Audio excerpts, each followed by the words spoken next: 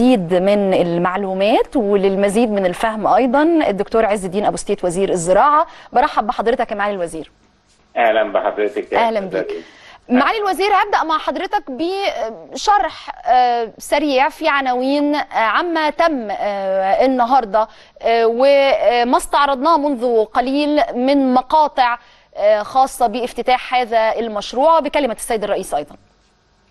الحقيقة إنه اللي قامت به الشركة الوطنية للزراعات المحمية على مدى السنتين اللي فاتوا في مواقع مختلفة أمر يدعو للفخر.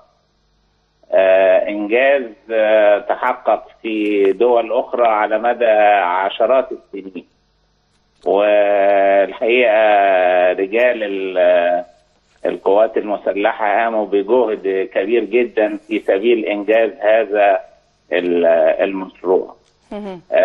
المشروع اولا بيضيف للكفاءة الإنتاج الزراعي لأنه بيضاعف الإنتاجية من الفدان إلى أربع أضعاف. يعني حضرتك لو أنت خدتي فدان أرض مكشوفة وفدان صوب ده مزروع طماطم وده مزروع طماطم برضه هتلاقي إنه نمو شجيرات الطماطم أو نباتات الطماطم في الأرض المكشوفة ما يزيدش ارتفاعها عن متر. بينما هنا أنت بتلاقي ارتفاع النبات يوصل لخمسة وستة متر. ده بيترتب عليه إنه الإنتاجية تبقى أربع أضعاف على الأقل ما كانش أكتر. في نفس الوقت نتيجة لاستخدام التكنولوجيا العالية في الري إحنا بنوفر حوالي تلتين كمية المية أو 60% من كمية المية المستخدمه آه وبالتالي بنعظم الإنتاجية من وحدة الأرض ومن وحدة المياه. في نفس الوقت الزراعات المحمية لا تتأثر بالعوامل الطبيعية وبالتالي إحنا بنتحكم في مواعيد الزراعة. من هنا نقدر نغطي الفترات أو الفجوات الزمنية اللي ما بين العروات اللي كلنا بنقعد نشتكي ونقول الطماطم بقت ب 10 جنيه وب 8 والبطاطس يا فندم. والب... لا البطاطس زراعات مكشوفة. البطاطس كان ليها ظروف السنة دي نتيجة لانخفاض المساحة مع سوء الظروف الجوية ونتمنى إن شاء الله إحنا نتغلب عليها. في السنة القادمة. لكن آه المقصود إنه الخضروات هنا بنقدر نغطي فترة زمنية أطول طول الموسم والفترات اللي بيكون فيها مفيش إنتاج من الحقول المكشوفة ينزل إنتاج من الصوب يؤدي إلى توازن الأسعار.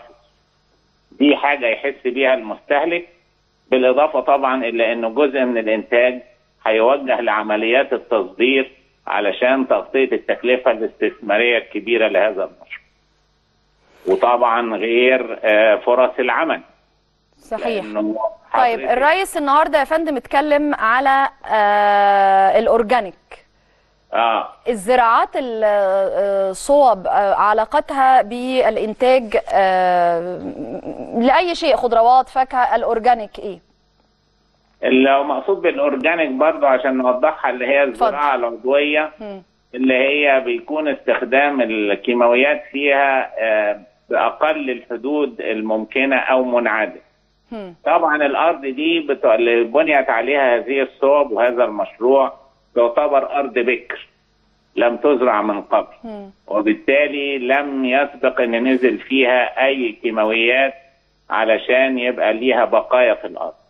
فدي بتدي ميزة كبيرة إنه الإنتاج اللي هيخرج منها مع استخدام التقنيات الحديثة في الإنتاج نقدر إن إحنا نحصل على الإنتاج الأورجانيك أو الإنتاج العضوي اللي بيتوافق مع الممارسات الصحيحة الجيدة في الزراعة منذ وضع البذره في الأرض لحد ما ناخد المحصول أو اللي بنسميها ال Global GAP اللي حصلت عليها حصل عليها هذا المشروع.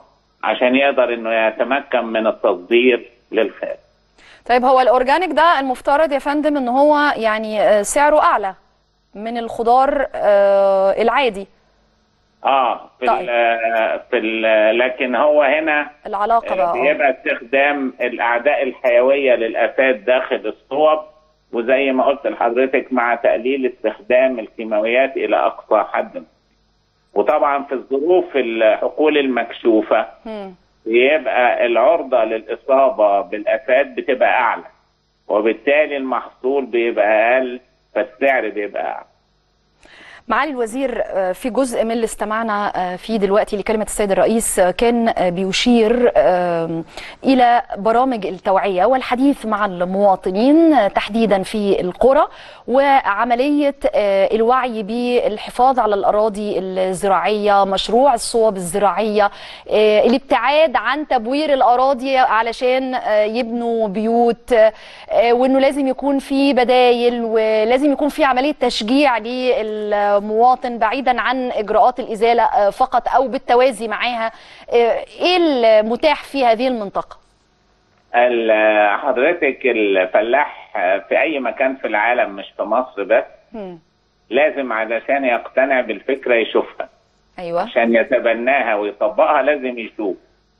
فمتهيألي اللي شفناه النهارده بيقنع أي حد إن هو مش لازم طبعا هيعمل الصوبة بنفس التقنيات اللي إحنا شفناها ولا على نفس المساحات ولكن ممكن يعملها على مساحة محدودة من أرضه عدة قراريط ولكن تديله إنتاج مضاعف وممكن هنا يبقى في زي ما سيادة الرئيس قال إن يبقى في قروض ميسرة لإقامة الصوب في الأراضي الزراعية. علشان زيادة الإنتاجية ويخلي المزارع يهتم بالأرض بدل ما يدور إحنا عندنا برنامج يا فندم فعلا آه، ولا إحنا لسه هنبدأ آه، في هذا البرنامج؟ ده لسه توجيه طالع النهارده يا فندم. آه يعني لسه هنبدأ في هذا البرنامج. آه، كل التوفيق.